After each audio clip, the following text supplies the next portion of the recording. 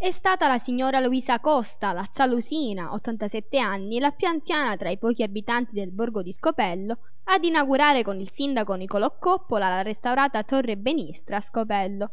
E sulla torre la signora Luisa è perfino salita percorrendo il sentiero CAI, numero 631, che permette di raggiungere la vetta a 202 metri sul livello del mare. La signora Luisa ha voluto rivedere quella torre che non raggiungeva da quando era ragazza perché praticamente crollata è rimasta solo un rudere.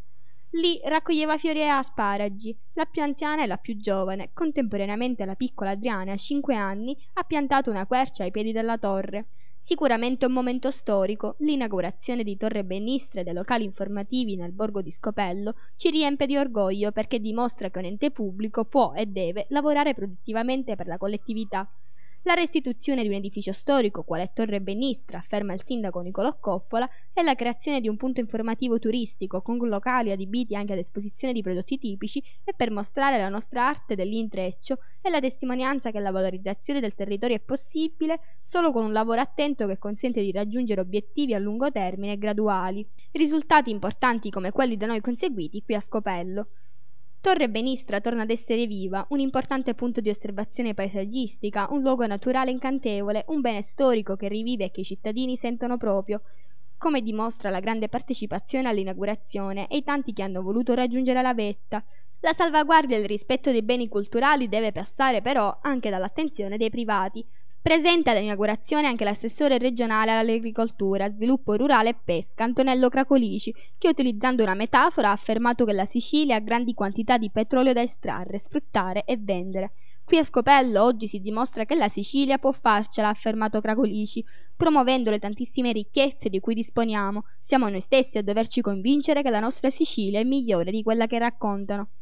Il recupero della torre di avvistamento è stato finanziato nel 2012 con 805.000 euro dall'assessorato regionale delle risorse agricole e alimentari per lo sviluppo e rinnovamento dei villaggi alla precedente amministrazione. Presente infatti anche l'ex sindaco Marzio Bresciani, che è intervenuto nella prima parte dell'inaugurazione per ringraziare chi ci ha creduto, chi ha collaborato per il finanziamento e il progetto e chi ha portato a termine la restituzione del bene culturale, lo storico padre Michele Antonino Crociata ha illustrato il sistema di comunicazione delle torri di avvistamento e Mario Vaccarella, consigliere nazionale della CAI, ha sottolineato il ruolo e l'attività del centro alpino molto attivo nella cittadina.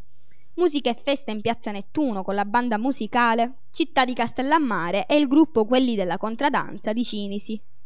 Dopo il percorso pedonale a piedi della torre anche l'intervento di Simone Cusumano, responsabile dei lavori pubblici dell'ufficio tecnico, che ha illustrato in dettaglio il lavoro di ricostruzione e messa in sicurezza della torre e ringraziato la ditta Sceli Energia SRL di Santa Ninfa che ha effettuato i lavori, le maestranze impiegate e la ditta Geraci, Pizzo e Caleca che hanno realizzato il complicato e altissimo ponteggio, ma anche i proprietari delle aree che con collaborazione hanno consentito la realizzazione dei percorsi. Per la ricostruzione, ha spiegato l'ingegnere Cusumano, è stata utilizzata la stessa pietra alla base della torre. Sono state ricostruite sia la porta di accesso alla torre sia la finestra e le feritoie utilizzate per le comunicazioni. La torre, ha spiegato Cusumano, è illuminata esternamente da 18 proiettori ottici a LED Nell'area circostante la torre è stata realizzata un'area belvedere, quale punto di osservazione del territorio circostante ed è stata delimitata, così come tutta la scalinata, da una ringhiera in acciaio di tipo Corten per rendere abbastanza sicuro il percorso dei visitatori. In conclusione, l'intervento di Giuseppe Oliveri, presidente del CAI Sicilia.